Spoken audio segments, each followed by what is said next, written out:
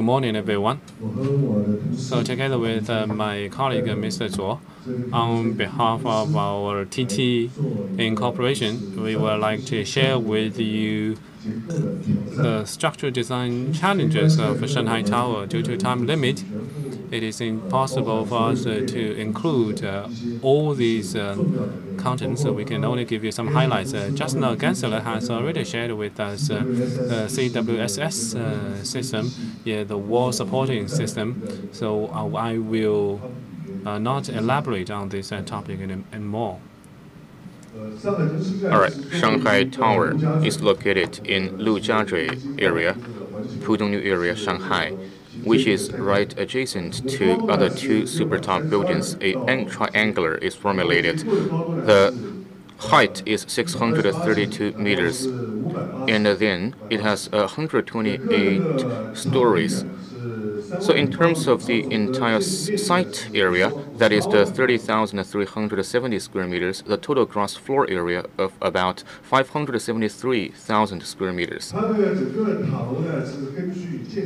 Let's look at the entire Shanghai Tower based on the functionalities, and we divide it into nine zones in total.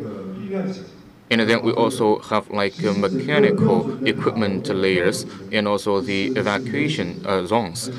And uh, the standard kind of stories are in circular shape. And currently, in the exterior curtain wall, it has a double skin structure or system. And as it arises from bottom to up, it is rotating and also shrinking as the height increases. Structure-wise, if we, if we look at the structural system, I will go into detail later on. On the bottom, we have the retail podium, and then we also have five office zones, two hotels, and a sightseeing floors at the top. So you can clearly see the entire kind of uh, floor plane of the tower. And uh, actually, on the standard layer, it is in circular shape and on the floors of the mechanical equipment and uh, shelter shelter zones, it is in triangular shape. And it is uh, arising uh, directly, and so this kind of uh, structure is uh, simply designed and from 82.2 meters at zone 1 all the way to 46.5 meters at zone 8 in terms of the diameter. The next, let's look at the challenges facing the entire project in terms of the structural design. For such a tall building in Shanghai, Actually, we have like very soft uh, clay kind of a foundation, and uh, in addition, the weight of the tower is very heavy, and the soil and uh, sand conditions in Shanghai are poor. And I would like to say that the top 15 meter soil is very soft COT clay, so we have a very high requirement for structural design as a result. Then, under such a huge weight, the pile group of 947 piles has been used to support the 6 meter thick mat foundation.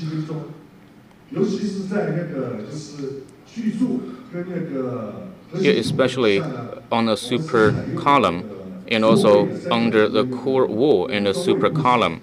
Know, we actually consider the concentrated load, and we use the staggered pattern pile layout so that we can arrange more piles. And including the core and the super column, the entire tower we want to make sure about the uniform force taken on the bottom and also to reduce this kind of uh, location settlement. So on the basement, you can look at the five-story thin walls at the basement levels to reduce the overall settlement. In, a, in, addition, the force transfer will be in a uniform fashion. The final effectiveness is very prominent or obvious. We can reduce the maximum predicted settlement by 20 to 30 percent, and the force distribution is very even. In the meantime, We also managed to reduce the differential settlement. Another challenge we face for Shanghai Tower, such a tall building, I think it was one of the tallest in this country, with a total height of 632 meters, so the structural system is quite challenging. How can we choose a safe and also economically sufficient, uh, efficient and also the kind of a construction feasible solution? This is a big challenge. When it comes to us, for such a tall building, you look at the China regulations, you have to control that kind of a settlement by one out of 500 or within this kind of a range. In addition, how can we control the cycles? This is another challenge. Together with the Gensler company, you know, we did a lot of uh, design and study on different structural options. Finally, we chose this core outriggers mega frame structural system, so which composed of three dimensions, and it includes the concrete composite core, an exterior mega frame,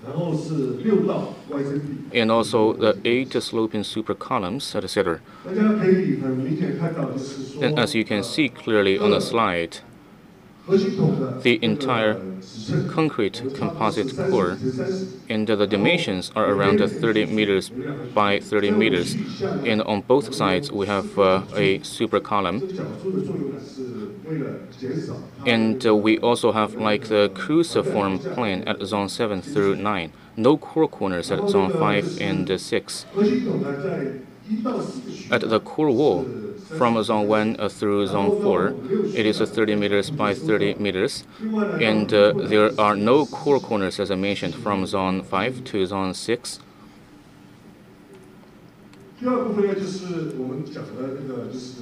Then second, let's look at the exterior mega frame. We have eight super columns, all the way up to zone 8. As I alluded to previously, four diagonal columns up to zone 5 to increase the stiffness and reduce the deflection. These columns' steel ratio ranges from 4% to 6%. 4% are true with those standard stories, while 6% are for those mechanical equipment stories which we need to reinforce and also double belt trusses for redundancy and a torsional stiffness and transfer the gravity loads to super columns. So the gravity loads in each zone can be well transferred to the super columns. Third component, the outrigger trusses and its structural system. Know, we already analyzed on different options planes.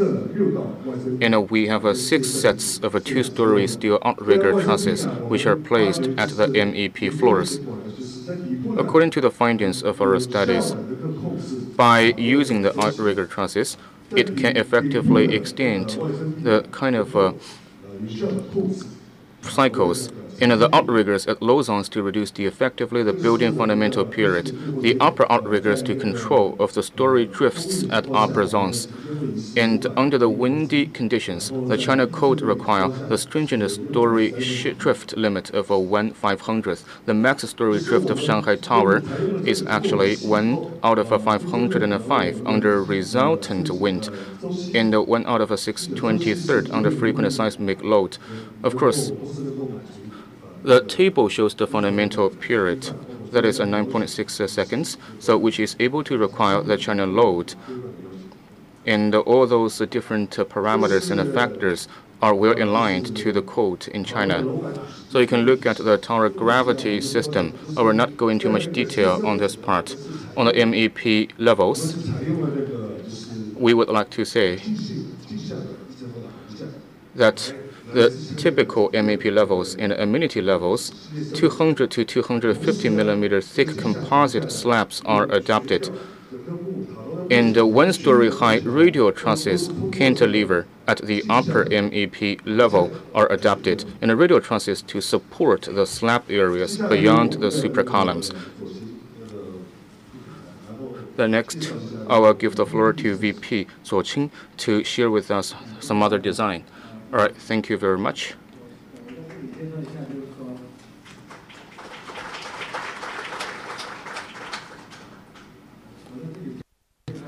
I would like to take this opportunity to introduce to you some of the performance-based design, or PBD in short, some of the results we achieve. So what are the procedures, or what is the process? In a nutshell, it is very easy and simple. So earlier on, you need to set up a kind of a performance objectives, and you choose the right seismic waves. After that, you also establish some models. After that, you start to do calculation, and then you acquire the results for analysis and comparisons. So the performance objectives or targets based on the code of China, we try to produce it and make sure it has a certain elast elasticity in small uh, seismic uh, movement, and then in big seismic movement, some damage is allowed, but it is not allowed to be collapse. So you look at the overall structural kind of uh, target, and we also set very clear requirement for the uh, settlement. And uh, based on the different important layers of the uh, members, yeah, we have like a kind of a core wall and a link beam, super column, build a truss, outrigger, and a critical uh, connections. Yes, we produce this detailed table, which you can go into detail later on. In a while conducting PBD, we adopted two different uh, programs. First, Abaqus software, and then we also use the Perform 3D software computer programs for nonlinear analysis in choosing the seismic waves from different sites and according to different seismic records. We chose those actually seismic waves that are in line with the characteristics of the with Shanghai. And we spent a lot of time working with uh, the Research Institute and Tongji University, as well as other stakeholders. And altogether, we spent over one month of time. Finally, we find out about seven sets of uh, ground acceleration time histories were selected from the worldwide records. And uh, you can look at the ratio between two components, which are 1 to 0.85 to 0.65. So these are the PBD 3D findings. And overall speaking, you can look at this curve. It is 1 out of 100. We are staying well inside this range. And we have a smaller wave and a bigger wave. And uh, in terms of a seismic reaction, for super tall buildings, and we need to look at the uh, stronger reaction on the upper part and a smaller one on the lower part. And the average drift is smaller than one hundredth. The next, these are some of the torsion strain we extract from the PBD Perform 3D. You can look at the kind of a wall body. In a lot of areas show up the gray color.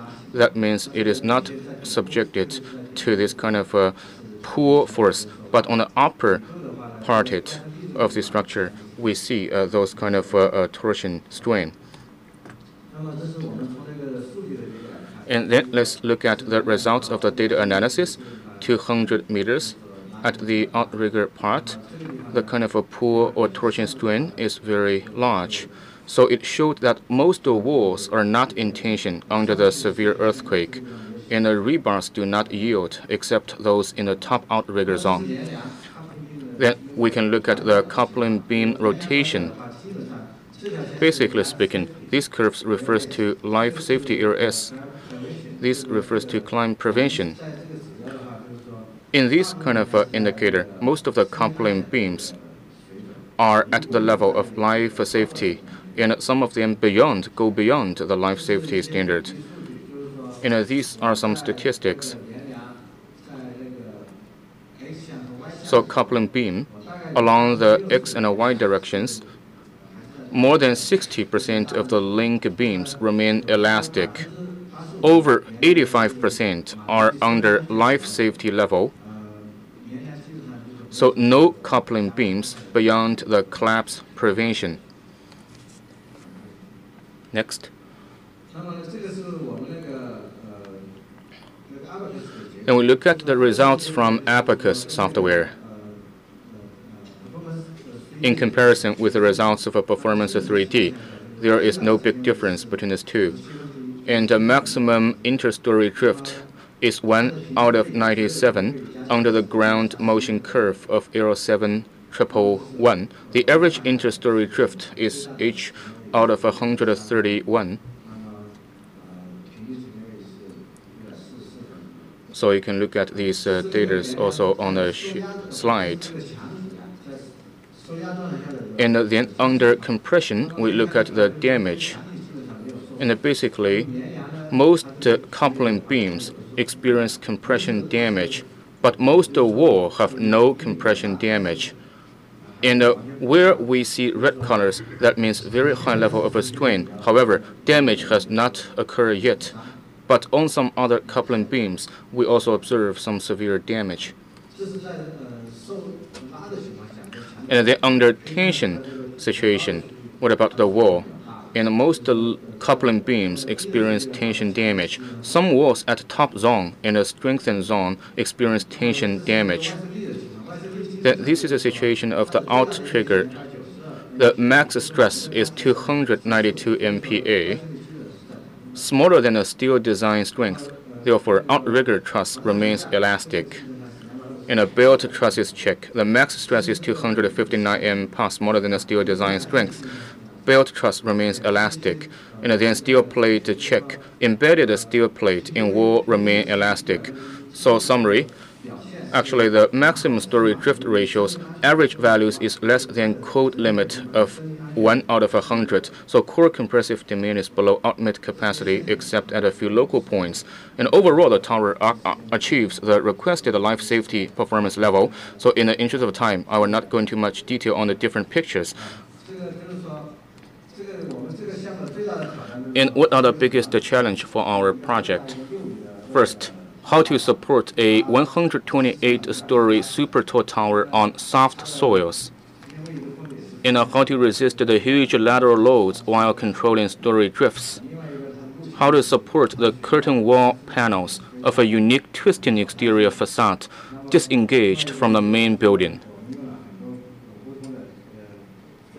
And we also used different advanced analytics methods to evaluate the structural performance under different levels of seismic events. All right, I would like to make some comments. We chose those kind of a mega frame structural system. This is a innovative kind of a move made by TT company for the first time. Okay, the mega frame structural system. Uh, this is uh, Poon Dennis, uh, vice chair, and also uh, Fu, uh, Paul Fu and a Steve Zuo. Thank you very much, and thank you for your kind attention.